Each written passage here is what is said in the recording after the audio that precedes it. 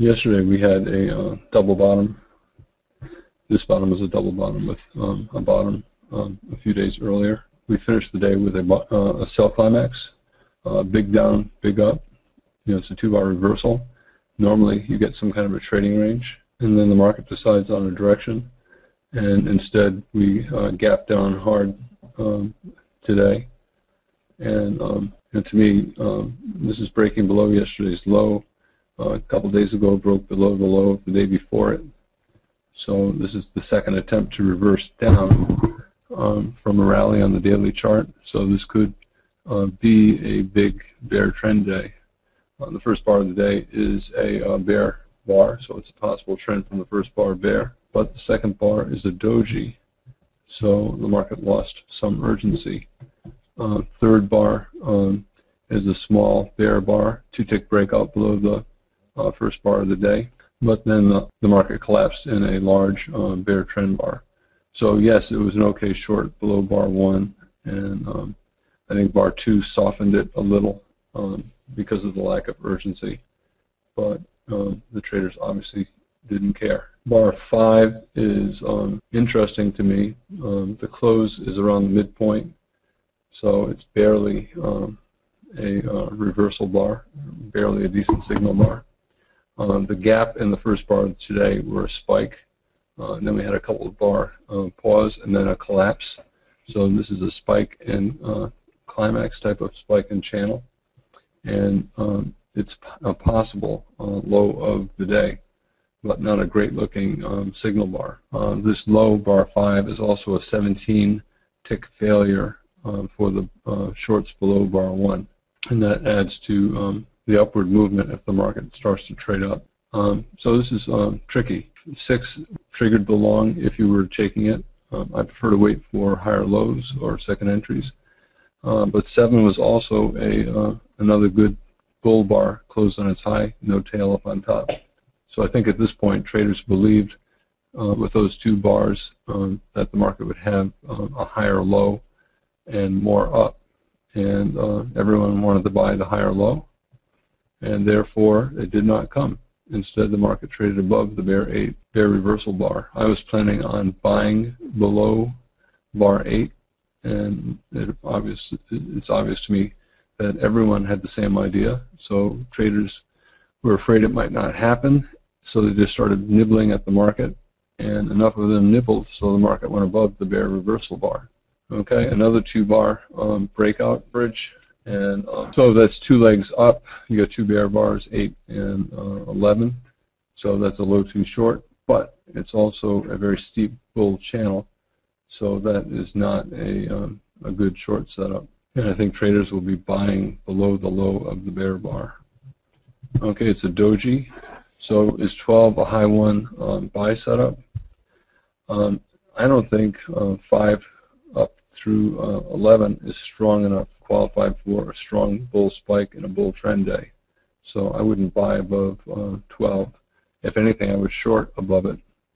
And then, uh, so 13 is two attempts down, um, but I still think the momentum up is strong, and the market uh, flipped to always in long on bar 7. Um, it was reinforced by bar 10, um, and I don't see anything that would make it short here. Um, we have the spike down and the spike up. Uh, so the market will probably uh, have a, a, channel up or a channel down. Um, normally after a two-bar reversal or a sell climax, there is a trading range. And it can be as short as one bar. It can be as long as, you know, 100 bars. And at this point, it's uh, three bars uh, long. Um, bar 13, excuse me, bar 14 is a high two and a bull um, reversal bar. I think this is probably my biggest mistake of the day. I forgot what I was doing. I think I was talking, and I, I missed it. I just, you know, I missed it. I saw it, and um, by the time I saw it, it triggered, and um, I was too late. So um, I did not buy this high two, and I should have because uh, that was the first reasonable pullback in the uh, spike up from the low. Okay, decent entry bar on uh, 15, good follow through on 16. The tails are not great. Now is 17. It's a it's a bull inside bar. Is the spike up strong enough at this point to um, be buying high ones? you know, I personally did not think so, and I did not buy this high one. Uh, I thought the move up to 11 um, had some overlap, had some decent bear bars, so there was some uh, bearish uh, strength. Um, we had two attempts down at um, 11 and 13. We had a sell-off on the open. Um, there are tails on top of uh, 15 and 16. Um, so I think all of that works against this being a spike and a strong uh, bull. So I would not buy that.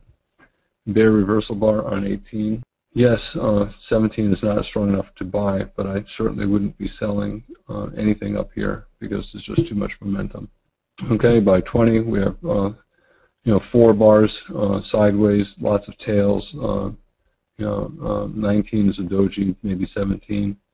Um, so this is a, a, tight trading range, and I think um, everyone, or just about everyone, uh, should uh, step aside. to me, I was shorting above bars. Um, you can also buy below bars, but I thought that um, the market would probably pull back at least to the moving average and it may pull back to the 14 low, the start of the channel. So if 5 through 11 is a spike up, uh, and then we have this climax up uh, 15, 16, uh, this could be a, a spike and climax uh, bull and pull back down to the uh, 14 low. Instead, we entered a tight trading range for the next three hours going into the, uh, the FOMC meeting minutes. Okay, you could argue that uh, 22 is a wedge buy. Um, there, uh, it's the third push up, a high three, so high three is basically a wedge. Um, but again, tight trading range, um, I wouldn't take it. Now 26, you can say, oh, it's a breakout of uh, a tight trading range, and therefore it's a final flag, and it's a decent short. Uh, but I, I, as I said, I don't short below bars unless I have a small bar at the top. I don't buy above bars unless I have a small bull bar at the bottom. And uh, you know, usually you don't get either of those, or they don't come very often in tight trading ranges.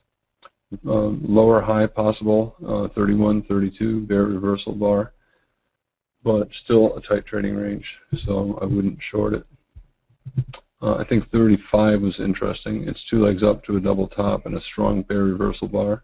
Since it overlaps so much of the bar before it, it's a two bar reversal and um, I think it is an acceptable short. The one uh, caveat is it's a um, high trading range and we're going into the FOMC meeting. Okay, the scalpers would have made their profit.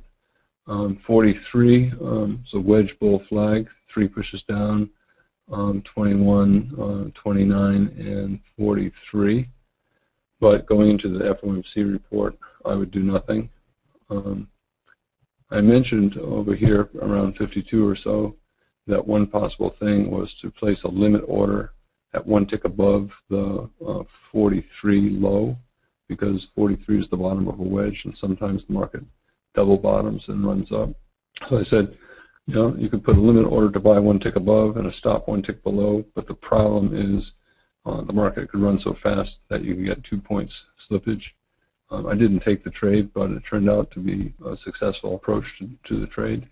After the double bottom, the market reversed up on uh, 55 on the report. It was strong enough up, so I think um, always in, flip to long, and I think traders should be looking to buy. Uh, 56, uh, the pullback was eight ticks, which is you know kind of a lot uh, for a four-point bar, um, but might be okay. Um, so it's breakout pullback long above 56. Um, I just went for two points because I was not convinced that the market was going to go much further than that. It hit the top of the channel at 58. The close is in the middle, so it meets the minimum um, requirement for a reversal bar, and um, I personally did not short it. Uh, you could argue it's a spike in channel, you know, 55 spike, uh, 58 you know, climactic uh, channel, and um, it's also a final flag 56 at the trend channel line and at the area of measured moves. Um, so I think it's an okay short. I personally didn't take it.